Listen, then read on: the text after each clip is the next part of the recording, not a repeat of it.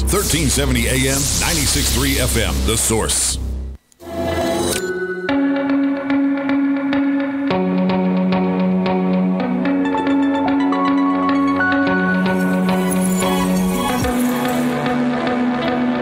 All right, 24 minutes before 11 o'clock on my iPad, I have a, uh, a flight simulator game, Robin, or program, whatever, Oh, you, whatever you call it. And I have tried to fly virtually Uh-huh. under the Golden Gate Bridge in San Francisco. Okay. I am not good at this. Oh. But our next guest perhaps can tell us stories about flying under the bridges over the East River and with not with virtual but with a real real airplane. Uh, uh, Theasa Tuohy is a journalist who contributed to five daily newspapers and the Associated Press. She is the daughter of, of her namesake. Her mom's name was Theasa also, and a pioneering pilot who flew an old World War One Jenny with an OX-5 engine. I don't even know what I'm saying. I'm just reading. Um, Theasa Tuohy is also an historian, a researcher, and her book is called Flying Jenny. If you're looking at the uh, the uh, streaming video thing we're doing, uh, she's not in the studio, so I have a, a picture of the cover of her book that I got off of Amazon. Uh, Flying Jenny. It is a novel, but we're going to learn a little bit about. Um, Theasa and her mom, and about flying, and, and of course the novel. Good morning, Theasa. How are you? I'm doing fine, thank you. Where are you? Where are you calling from? Um, I'm at my home in New York, All in right. Manhattan. All right. Well, thank you for being on the air with us today.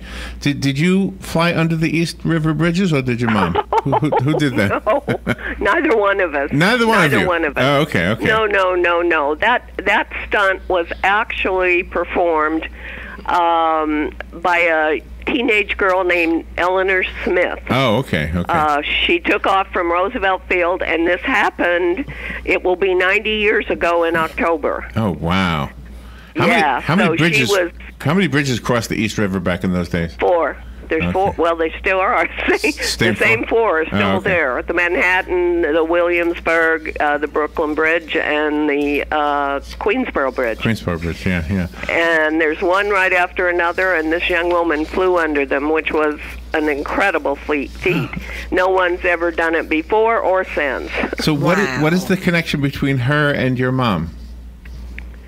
Um, none really. Uh, I used her. I I used her her stunt uh, to give it to a fictional character. Ah, the, the, okay. It's a, this book is totally is is historically accurate. Everything in it actually happened, but the characters are all fictional. So it was a question of, of taking history and explaining it through some fictional characters. I see. Okay, that helps me understand a little bit of what I was reading earlier. So, did you did the idea stem from an obituary that you read? Um, it actually it did, but it wasn't an obituary of, of Elinor Smith. Uh, it was obituary of the woman who wrote Gentleman's Agreement. Um, her name was Laura Hobson, Uh-huh. and um, I I happened to read a story about her, and I decided that I wanted to kind of make a contrast between two types of women who existed in the late uh, 1920s and compare what their lives were like because there were women doing stuff back in 1929 it you know it's not like women have been just totally oppressed I know, forever I know, and it, it is interesting to to hear these stories because we uh, we're still struggling with this. We're still having Sure, we're still sure. having a hard time accepting women uh, in things that we don't think women should be doing, uh, and and yet there have been uh, trailblazers throughout history. So uh, it's an interesting predicament, I suppose, that we put ourselves in, isn't it?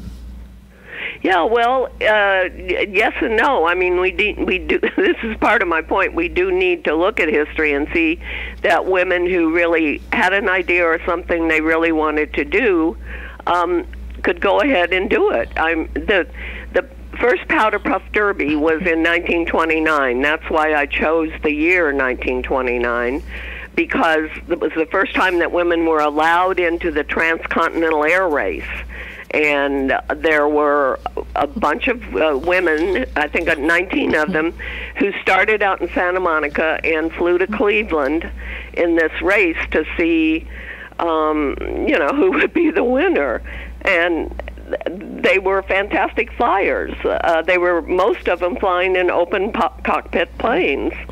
The woman that actually won the race uh, referred to it as the sunbur- sunburn derby. oh wow! Yeah, I bet I can see yeah. that. Yeah. And Yeah, uh, they were in they were in open cockpits. Uh, they went through rain and sun and all sorts. It took them nine days. I mean, Wow. uh, you know, there were no lights on the airfields. Um, this is one of the things that's, to me at least, so much fun about the book is to see how much air transport has changed in in a relatively short period of time. Um, as I said, Elinor Smith did this stunt uh, 90 years ago, Yeah, flying under flying under the bridges. Now, my mother had a pilot's license at that time, but she wasn't she wasn't uh, a stunt flyer, and she certainly wasn't um, doing the kind of things that Elinor Smith was doing. But needless to say, I grew up on stories of of old the old days of flying. So so that's where I got the idea to use a woman pilot and um, a female journalist from from Manhattan who was working for a tabloid, and so there was tremendous conflict between these two women because they came from such completely different backgrounds. They they couldn't have been more different. Now you yourself are a journalist. Do you also have a pilot's license? No, I don't. Okay. I don't. I'm not a. I, I'm I'm the journalist in the situation, and my you know. Well, do you? I'm not anything like the character uh, in the journalist in the book, and my mother is not very much wasn't very much like the the pilot Oh, character okay. in the book. But I knew both milieus from one from my mother and one from myself. Uh, I bet I was in journalism for a long time. One of the first women doing this, and one of the first women doing that, and that's kind of where I got the idea to Yeah. because I knew what you know I knew what it was like in journalism Right, for women. right. I was like the first woman assistant city editor at the Detroit News And many did- years ago. And did being a woman give you different challenges, fair or unfair, that than a man would have? Um, you know that's hard. That's a little hard to say because I was a product myself of that of that same generation. So when I got Okay. turned down for one job because I was a woman, I just went on and Uh. and uh, tried for another one. And I also, believe it or not, was at the right place and the right time several different times and got jobs because I was a woman. Uh, because the Newsday, for example, which is a large paper on Long Island, uh, had a suit against him, a women's suit against him. So they scoured the country looking for women who had some pretty good professional experience to recruit them to get this suit off their back. Ah, so, oh wow. and uh, the, So the it, it cut both, yeah, it cut both ways. and the family seems to be a third character in the book, especially your newspaper reporter Laura Bailey. Uh, I'm sorry, what did you say? Her family? Uh, yeah, the the family seems to be a third character in the book when you Oh, talk yeah. about Laura Bailey and her dad. Right, right. No, that was wonderful fun too, doing the research on that. Um, she came from a a very uh, bohemian uh, parent. She didn't even know who her father was, and her her mother was a, a writer and a very bohemian, free love believing character uh, in Greenwich Village in the teens, and and that scene was just so much fun to um, to research. Um, one of the things I did was set up uh, the character of Edna St. Vincent Millay, the poet. Uh, I did a lot of research on her and and made her a character uh, in the book. You know, a true a true character in the book, and the characteristics are all. She played Jax with with my character Laura, my fictional character Laura, because Edna St. Vincent Millay did those very kinds of things. She got along well with children. Um, but she was, you know, a very bohemian, avant-garde, but very, very well-known poet at the time. Theasa Tuohy is our guest. Her book is called Flying Jenny. It is a novel, but there's so many sub stories uh, with this one. I wanted to make sure we had uh, Theasa on for a, a, good long interview. A lot of times with novelists, we'll only do like 10 minutes because there's a story, and I don't want to give too much away for fear that people then wouldn't buy the book. But in your case, you've got so such an interesting backstory yourself, uh, not to mention the, the backstory behind the characters in the book. Yeah, well, thank you very much, and I think that's that's sort of true. I I did a lot of I've had a lot of different jobs. I worked for five different daily newspapers and also for the Associated Press.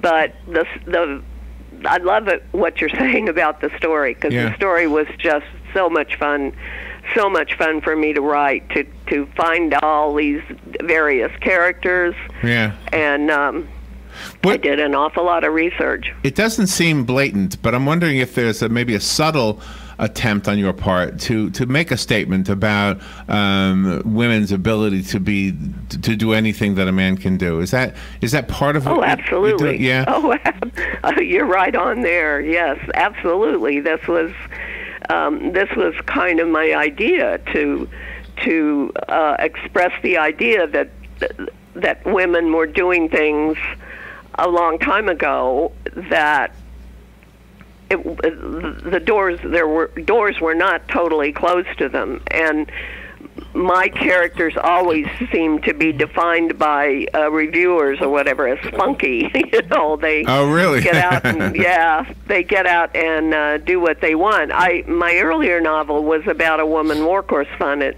during the vietnam war and this was it was kind of the same type of thing um uh, women journalists, there were very, very few of them in Vietnam, and most of them had to go there on their own and pay their own way.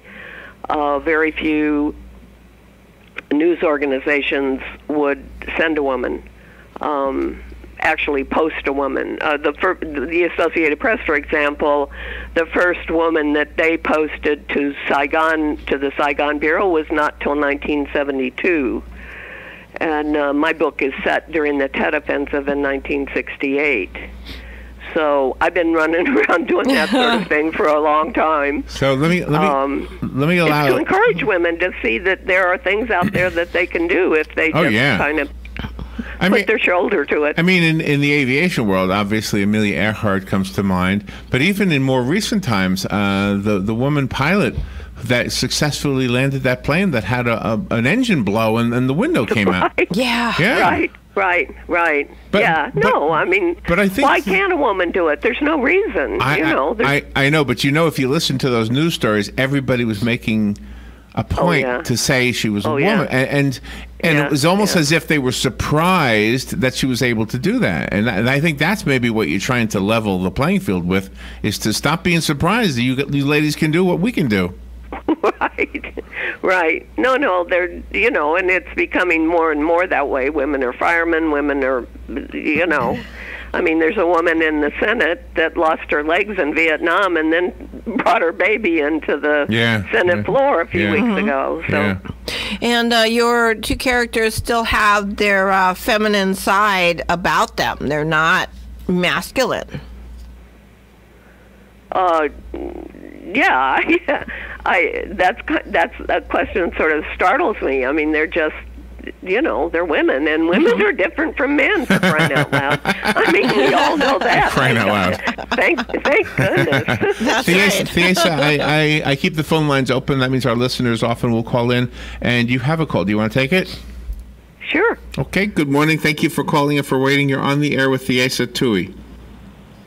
Yes, good morning. Good morning. Uh, uh, Jacqueline Cochran, uh, uh, first woman to fly supersonic, and she operated her own cosmetics business uh, at, at around the same time. Wow. Um, Absolutely right. and You're absolutely right, and I think I'm not. I may be wrong, but I do believe that she uh, entered the Powder Puff Derby uh, some years after 1929. Yes, yes, she, uh, the 1930s, yeah. Um, and uh, um, uh, Pancho Barnes uh, ran a flying school on Hawaii around the time of the Pearl Harbor attack. Wow. And um, uh, uh, the East River Bridge thing was also done by Paul Mantz.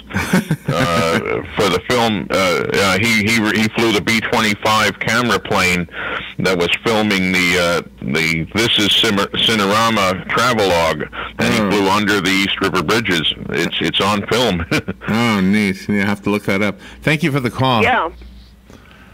Theacy, yeah, I, I obviously have a, a fan out there who's uh, familiar with some of the things we're talking about. Right, right, yeah. Jackie Cochran was was a very well known pilot, you know, quite some number of years ago, but well after, well after my character uh, Jenny Flynn.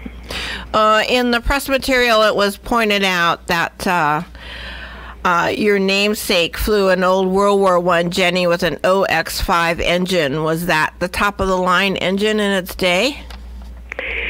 You know, I I hate to admit I don't exactly know what the significance of that was, but not too long before my mother died, um, she was visited by an old friend of hers that had been a pilot during those days too, and they both were very excitedly talking about the fact that some organization or club had been started up for old time pilots and the only way you would be eligible was if you had flown an OX5 engine. Oh, really? Wow. So, yeah. so that was some that was some great uh, honor as far as she was concerned that she would have been eligible for this rather obscure kind of uh, situation. So um, at one point I looked that up, and I must tell you that I've just sort of forgotten. I think I think in point of fact that um, the Jenny at some point, or maybe all along, had an OX5 engine. I uh, love your. the- I uh, love your uh, publicity photo. I mean, you look j- just so great, like in total control, sitting on a trolley. I just, I just think that is a wonderful photo. I love that Yeah, look. I like that one too. Yeah, yeah. Everybody gets a kick out of that. You know, that was taken on the streetcar named Desire Really? in New Orleans. Yeah, I think they've changed the name of that streetcar now, but it's definitely the old streetcar named Desire that um, goes into the Garden District from downtown uh, New Orleans. Uh, I was there for, uh, I guess, a month uh, several years ago at Mardi Gras time, and uh, different friends came to stay for like a week at a time, and my writers group came down there. We were all getting on the we were all climbing on the famous streetcar named Desire, and somehow I just happened to be first, and somehow whoever was right behind me took a picture of me as I just took my seat on the streetcar. We were there where the streetcar begins at the terminus Oh my! go into the garden district and and one of the other women in the group said wow that's a fabulous picture that's got to be your next that's got to be the next uh, picture on your next book the Ah. picture on your next book And it, so uh, that's how that that was totally one of those uh, uh, spontaneous not thought out on your just a on- snapshot On, your website, um, you have that picture, and right next to it, a picture on that same trolley. It looks like with other ladies. Are you are you part of a, a, a writers group?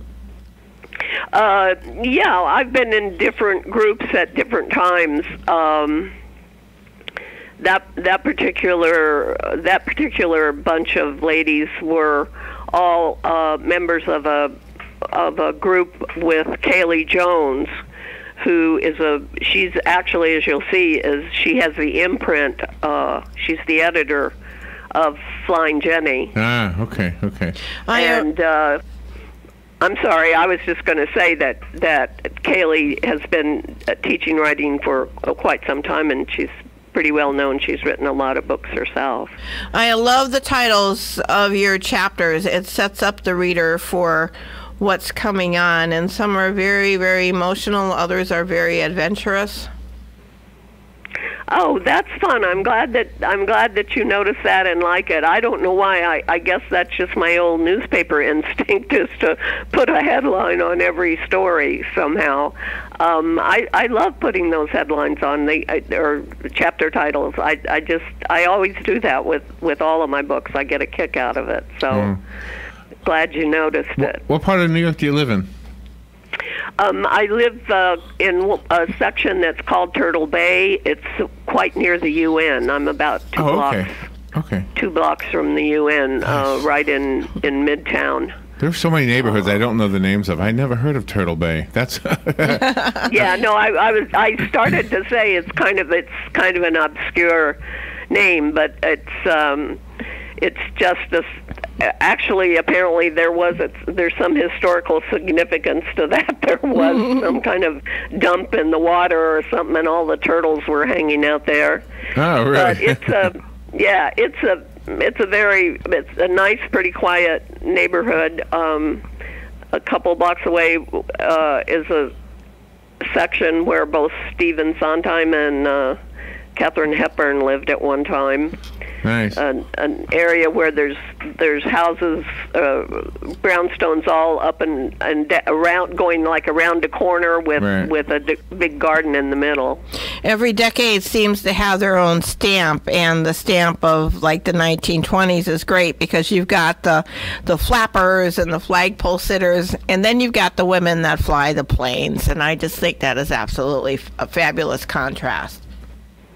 Yeah, it it it- really you know it it was a fun time and that that powder puff derby was just an amazing. Well, first of all, Will Rogers is the one who gave it the name Powder Puff Derby. It was actually, you know, the women's continental air race or Oh, transcontinental my. air race or something like that. And uh, uh, Will Rogers, who was, uh, you know, a big humorist at the time, but was very interested in flying. And as a matter of fact, he if Will Rogers was killed in a in a crash with Wiley Post. Uh, they were trying to do a round the world trip. So that's how interested Will Rogers was in flying. That he was he was in a uh, in a flight with with Wiley Post, Wow. who was who had done some other transcontinental Theasa, flights. But let, let me uh, Yeah? spell your name for our listeners. I just went to your website and I want them to go there as well. Uh, T H E A S A is Theasa, and then Tuohy is T U O. H Y T U O H Y. If you go to theasatuohy.com, you'll see you have an amazing uh, other other works on, on your site that I wasn't even familiar with till just now when you were talking. Um, I found the book on Amazon. I have a copy of the book. If I have, And a, it's signed too. oh, it is signed. It is signed. Yes. Call me if you want the book that was signed, and I'll, I'll leave it for you. Th- Therese, Theasa, you, did you know you signed it? well, I. I, you know, I've signed books, and, so I, I don't, I don't know how you got a hold of, of, of that one. I don't know who Probably sent it to you. PJ probably sent it. Oh, PJ DJ sent it. Well, Yeah. maybe it, it probably yeah. That that uh, my uh, my publisher sent her a, a few signed copies for special people like you. This has been just a wonderful interview. You guys have read the book and know all about it, and it's fun for me to talk about the book. It Yes. really is Yes. because I had so much fun writing it. And I do love the picture of your mom. Yeah, me too. Me That's too. a wonderful Yeah, photo. isn't that well? The the description of Jenny is is basically based on that picture. Um, that that picture ran in the Daily Oklahoman at one point many many years ago uh, when someone was doing a doing a story on on flying and and of course they always like to uh, take pictures of my mom or uh, include her in very in tours. The government would sponsor uh, various tours around the country Really? to get people interested in. Yeah, Wow. I mean the government was really promoting flying, Wow. uh, trying to get people to do that Theasa, and you, to not be afraid of it. you're a joy to talk to. What an enjoyable conversation. Thank you so much for spending time with us today. Well, thank you. This has been swell. I love it. I love talking about the book. Hopefully, we'll get to meet you one of these days. We're, Robin and I are Oh. up in New York now and then, and uh, we'd love to meet you. Well, I would love that too. You've got my phone number and all my uh, bona fides, I'm sure. So right, right, right. get Thank in you. touch when you can. Thank you, Thea. And I hope I'm in Florida at some point. If you are, stop by. Come into the studio. I will. I'd love to. Right. Thank you so much, You're- Larry. It was great. You're welcome. We will be right back. This is the Source WOCA Ocala.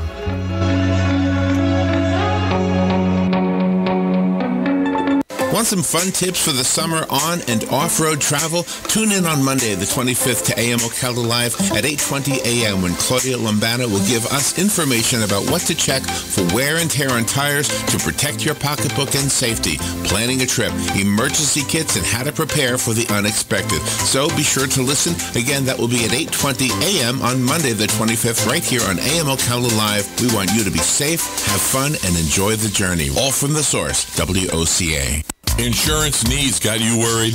Clifford Insurance has you covered with over 25 premium carriers. Family owned and operated